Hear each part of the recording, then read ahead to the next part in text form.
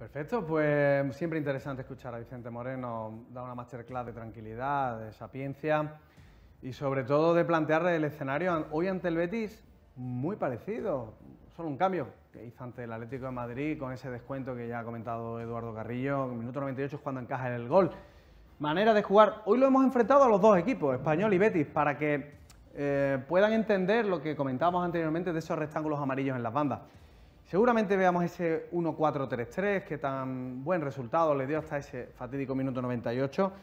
Para lo siguiente, eh, lo más interesante de todo es el intento de superioridad en el centro del campo con tres futbolistas, muy atentos a Melendo, jugador que ya eh, hemos traído a colación temporadas anteriores cuando el español estaba en primera, el canterano, muy buen manejo de balón junto con Darder.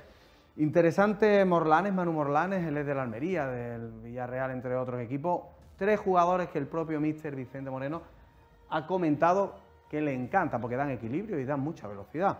Ahí tiene que ser Fekir el futbolista que ayude un poquito, dado que eh, Canales, si va a estar en la banda izquierda, tiene que enfrentarse a Oscar Gil. Oscar Gil, lateral muy profundo, vertical, y Alex Vidal, duelo de velocistas en la banda izquierda nuestra, diestra del español. Un 2 contra 2 que hay que maniatar, seguramente con la ayuda de Guido. Y luego en la otra banda izquierda, Adrián Pedrosa, un futbolista también canterano que debutó curiosamente contra el Betis en 2018, al que va a tener enfrente a Rodri. Eh, hacia atrás Rodri trabaja muchísimo, es un jugador que siempre se sacrifica. Lo que ocurre que si Bellerín se proyecta en ataque al mismo tiempo que Rodri, podemos tener bastantes problemas. Porque el fútbol de Barba, el jugador que juega normalmente en la izquierda, es de abandonarla para venirse hacia el centro. En definitiva, una batalla táctica, Isidro, en las bandas puede estar la clave.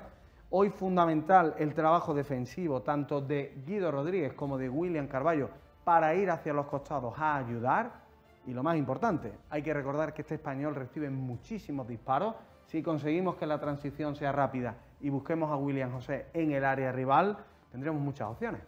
Bueno, pues los aspectos ¿eh? a tener en cuenta en relación a esa alineación titular también.